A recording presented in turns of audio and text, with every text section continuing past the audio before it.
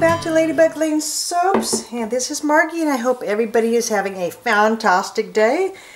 Oh, this is May 18th, Friday and I cannot believe how fast this month has gone. Oh my goodness.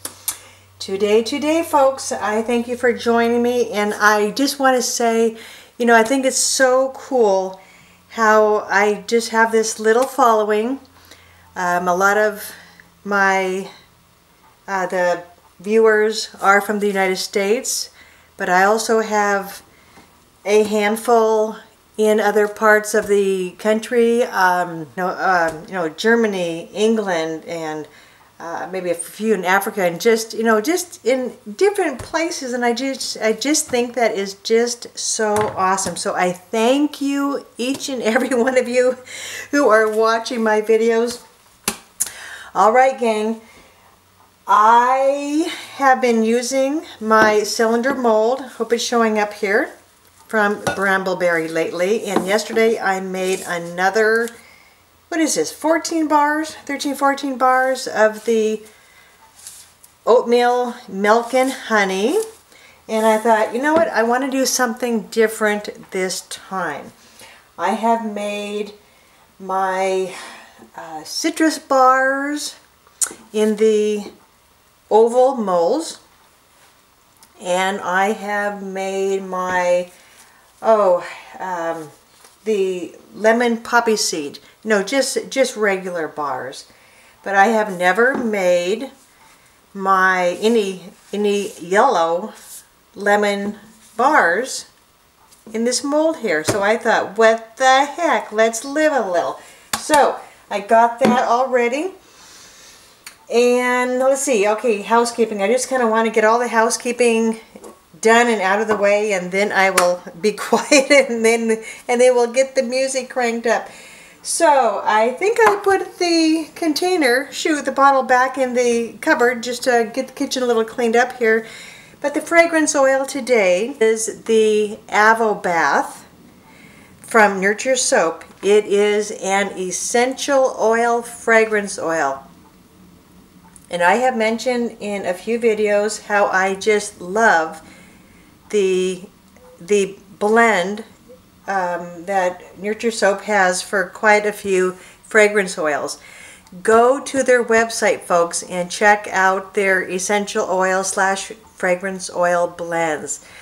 They, it is a little bit more expensive just because it has a lot of the essential oils. And let me tell you this, I mean, they are beautiful. So if you maybe don't want to be purchasing just you know 100% essential oils because they are pricey. I mean, beautiful, yes, but pricey. You know, um, yes. Check out their blends. They have quite a few. So I have a couple of ounces here. I have a little bit of goat's milk. And this is my colorant. This is the Fizzy Lemonade colorant. It's not a mica, it is a colorant. Now micas, as you probably know, um, disperse. That's the word. I actually remember the word. Uh, micas disperse easy in, in your oils when you're mixing them. Colorants, not so much. And this is what it looks like. They're really, really pretty. So what I do, I will pour just a little bit of the warm oils into a bowl. Add your colorants, and where in the heck is it? And then here is this little mixer from Brambleberry. See? Broom, broom, broom. And if that doesn't get it nice and smooth. Now, while I was preparing other things, this kind of uh, thickened up a little bit.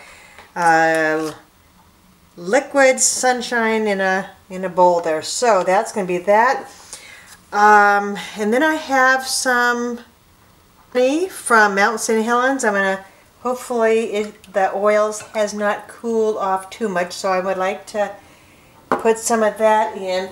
So, um, and if I have any left over, because I think my recipe, I haven't tweaked it enough so it's perfect in the mold. So I, so I have this nice mold here that I can use. So, without further ado, let's get going here. Here's my, here's my lye.